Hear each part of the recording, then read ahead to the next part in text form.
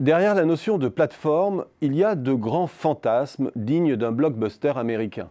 Un combat planétaire, avec au sommet de l'affiche des titans tentaculaires, les fameux GAFAM, qui menacent d'anéantir ou d'inféander l'ensemble des entreprises de la planète, sur fond de survalorisation boursière qui leur confère un pouvoir de prédation surdimensionné. Et puis, à la base, une myriade de start-up plus spécialisées et leur armée de geeks hipsters qui mènent le combat rapproché à plus petite échelle contre les entreprises en place. Le capitalisme contemporain vit ainsi avec ce spectre de la fin des entreprises et avec elle du salariat. Tout n'est pas faux dans cette narration caricaturale, mais cette dernière nous égare sur beaucoup d'aspects. D'abord sur l'opposition entre plateforme et entreprise.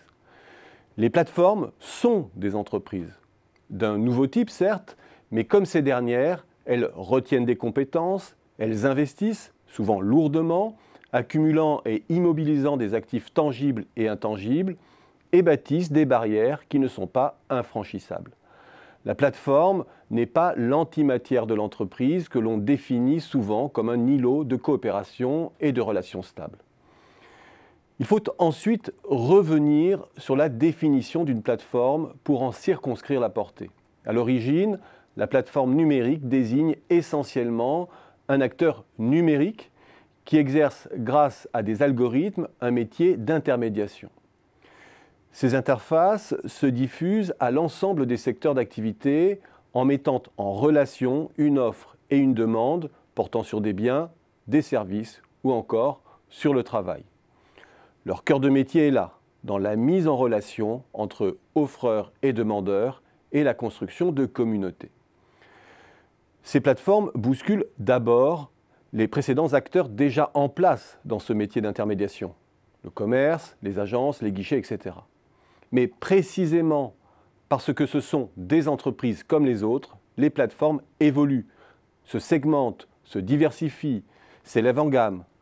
Leur fragilité, comme les autres entreprises, c'est leur caractère imitable, la faiblesse des marges, les risques continus de disruption technologique, la versatilité de l'audience qui fragilise la puissance supposée de l'effet de réseau, des coûts moins fixes que supposés pour accompagner les changements de taille et les défis technologiques, les risques juridiques aussi autour de l'accès et de la propriété des données.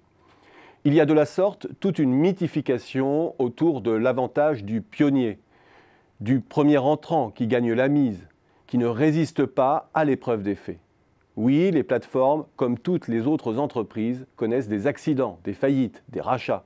Elles ne sont pas ces monstres invincibles qui submergent leur secteur. Et de fait, rares sont les pures plateformes. Elles s'éloignent souvent de leur vocation initiale d'intermédiaire.